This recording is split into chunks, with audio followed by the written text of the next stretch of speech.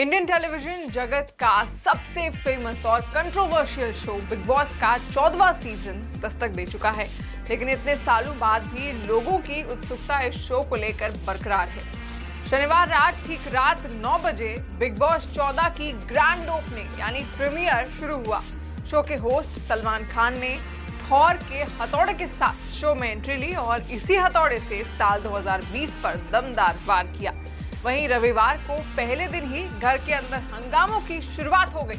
आइए आपको बताते हैं कि कैसा रहा बिग बॉस 14 में पहले दिन घर के अंदर का हाल। बिग बॉस 14 के घर में पहले ही दिन हंगामा देखने को मिला। पहले दिन सभी फ्रेशर्स और सिद्धार्थ शुक्ला, गौहर खान और हिना खान के साथ नज़र आए। घर में पहले दिन बिग बॉस नए सदस्यों और पुराने प्रतिभागियों को नियम बताते हैं। रिजेक्ट हुए कंटेस्टेंट गार्डन एरिया में रहेंगे। बिग बॉस बताते हैं सभी फ्रेशर्स अगले दो हफ्तों तक टू बी कंफर्म जोन में रहेंगे।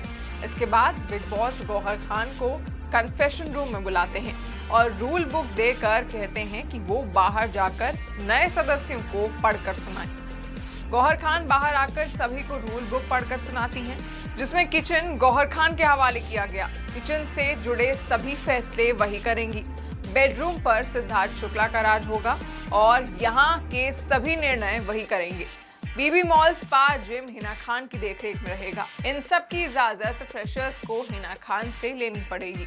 घर में राधे माँ की एंट्री होती है और सभी घर वाले उनका स्वागत करते हैं। राधे माँ सभी सदस्यों से कहती हैं कि अपने माता पिता का सम्मान करना चाहिए और अहंकार नहीं करना चाहिए।